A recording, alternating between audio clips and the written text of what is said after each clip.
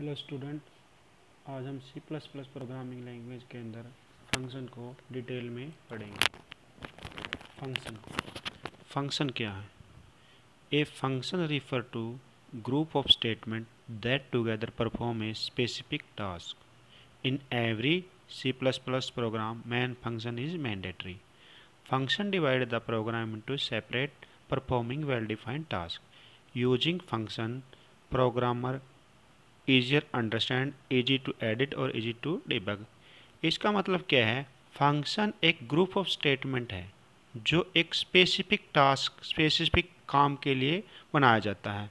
सी plus plus program के अंदर main function होना मैंडेटरी है। फ़ंक्शन क्या करता है? पूरे के पूरे प्रोग्राम को सेपरेट पार्ट में डिवाइड कर देता है, जिससे हमें क्या हो जाता है? प्रोग्राम को आसानी से समझना, उसको एडिट करना और उसको डिबग करना हम आसानी से उसको कर सकते हैं। उसके बाद क्या है? सिंटैक्स ऑफ़ फ़ंक्शन सिंटैक्स के अंदर क्या होता है? Return type function function name और ब्रैकेट के अंदर क्या होता है parameter one comma parameter two और लास्ट तक चलते हुए फिर ये ब्रैकेट बंद हो जाती है और करली ब्रैकेट ऑन फिर आती है फ़ंक्शन बॉडी और उसके बाद करली ब्रैकेट ऑफ़ अब यहाँ देखेंगे रिटर्न टाइप का मतलब क्या है? रिटर्न टाइप का मतलब क्या है? जैसे फ़ंक्शन जो वैल्यू रिटर्न करेगा, जैसे इंटीजर और नल वैल्यू जैसे integer value integer value return करेगा, अगर वॉइड लिखा है तो नल वैल्यू रिटर्न करेगा। ठीक है? उसके बाद है फ़ंक्शन नेम ये क्या होता है? फ़ंक्शन का हमें नाम डिफाइन करना होता है, जैसे identify using the function card उसके बाद होता है parameter parameter list consists of different argument separated by comma which is pass in input to function वो फ़ंक्शन के लिए क्या होते हैं? इनपुट का, काम कर जैसे हमने फ़ंक्शन एड के अंदर डाल दिया इंटीजर ए और इंटीजर बी और उसका बाद में हम एडिशन कर लेंगे। तो बीच में हमारा सेमी कॉलन आएगा। तो उसको क्या किस लिए यूज़ किया जाता है? फ़ंक्शन को एडिशन के लिए। उसके बाद हम देखेंगे type of function function basically two type के फ़ंक्शन होते हैं। पहला फ़ंक्शन होता है यूज़र डिफाइंड फ़ंक्शन और दूसरा फ़ंक्शन होता है library function user defined function का क्या मतलब है? जो फ़ंक्शन यूज़र के द्वारा डिफाइंड किया जाता है मतलब यूज़र के द्वारा उसका नाम दिया जाता है तो उस फ़ंक्शन को हम यूज़र डिफाइंड फ़ंक्शन बोलेंगे। ये एक स्पेसिफिक टास्क के लिए डिफाइन किया। जैसे हमें एडिशन करना तो एडिशन के लिए बनाएँगे। स्क्वेयर रूट निकाला तो स्क्वेयर रूट के लिए बनाएँगे। एलसीएम निकालना तो एलसीएम के निकालेंगे। कहने का मतलब यूज़र इसके अंदर पूरी अथॉरिटी होती है। यूज़र को इसके अंदर फ़ंक्शन को डिफाइन करने के लिए, उसका वेरिएबल डिफाइन करने के लिए और उसके अंदर पैरामीटर पास करने के लिए। एग्ज़ाम्पल भी दे रखे हैं साथ में। इंटीजर एड और ब्रैकेट के अंदर इंटीजर ए और इंटीजर बी हमने यहाँ क्या किया है? एक इंटीजर एड नाम का फ़ंक्शन लिया और उसके अंदर दो पैरामीटर लिए। इंटीजर ए और इंटीजर बी इसका बॉडी के अंदर क्या करें? हमने रिज़ल्ट को ए प्लस बी कर दिया और ब्रैकेट को ऑफ़ कर दिया। इसका मतलब क्या किया हमने इंटीजर ए और इंटीजर बी को हमने एडिशन कर दे तो एडिशन फ़ंक्शन के लिए हमने ये फ़ंक्शन बनाया था तो इसको बोलेंगे यूज़र डिफाइंड फ़ंक्शन उसके बाद फ़ंक्शन होता है लाइब्रेरी फ़ंक्शन जो function C plus plus programming और कंपाइलर की लाइब्रेरी के अंदर पहले से ही प्री डिफाइंड है मतलब उसको यूज़र डिफाइंड करने की कोई ज़रूरत नहीं यूज़र उसको डिफाइंड नहीं करेगा, वो पहले से ही फ़ंक्शन डिफाइंड है। User calling them using their नाम यूज़र क्या करता है, उनको अकॉर्डिंग टू देयर नाम के अनुसार जैसे ही रिक्वायरमेंट होती है, उस लाइब्रेरी के अनुसार उसको यूज़ कर देता है। एग्ज़ाम्पल के तौर पर हमें जैसे किसी चीज़ का स्क्वेयर रूट निकालना तो स्क्वेयर रूट का फ़ंक्शन लाइब्रेरी के अंदर डिफाइंड है तो हम स्केयर रूट को डाल देंगे मैथमेटिकल लाइब्रेरी के अंदर तो हमारा स्केयर स्केयर रूट निकल जाएगा। उसके बाद होता है एक फ़ंक्शन है, एक special recursion function recursion function क्या होता है?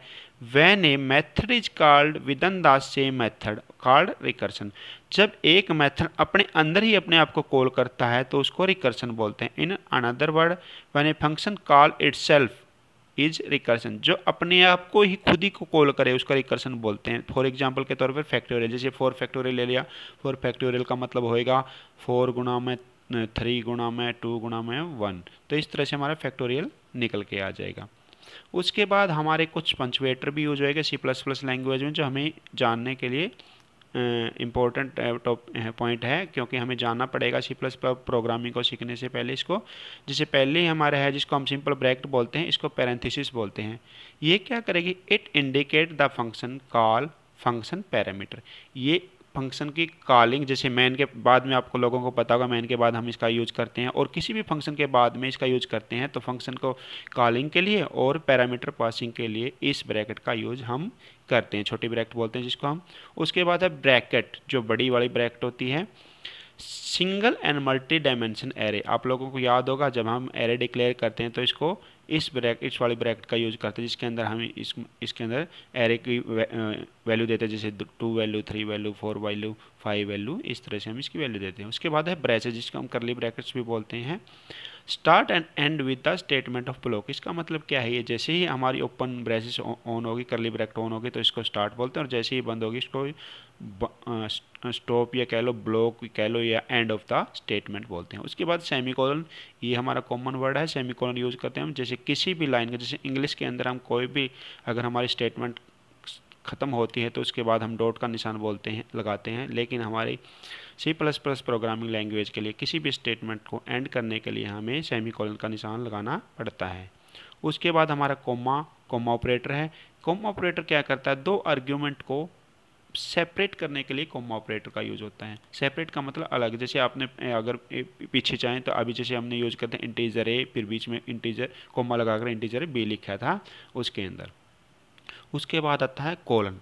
कोलन क्या है? जैसे दो डॉट लगाई जाती, it is indicate a label statement. ये जैसे हम एक्सेस करने के लिए उस टाइम यूज़ करेंगे, ये हमारा कॉलन है। उसके बाद है आर्स्टिक। आर्स्टिक क्या होता है? ये उस टाइम यूज़ किया जाता है जब हम कि कभी भी पॉइंटर को डिक्लेयर करते हैं, पॉइंटर को डिक्लेयर करते तो पॉइंटर डिक्लेयर करने से पहले उसके ये आगे लगता है। उसके बाद है इक्वल साइन। इक्वल साइन क्या होता है? जब भी हम किसी चीज़ को असाइनमेंट वैल्यू असाइन करते हैं, उस टाइम इक्वल ऑपरेटर का हम यूज़ करते हैं। तो ये हमारा एक छोटी सी वीडियो थी। आशा है आप लोगों को समझ में आई। अगर कोई प्रॉब्लम आती है तो आप मेरे को पर्सनल कॉन्टैक्ट कर सकते हैं। Thank you very much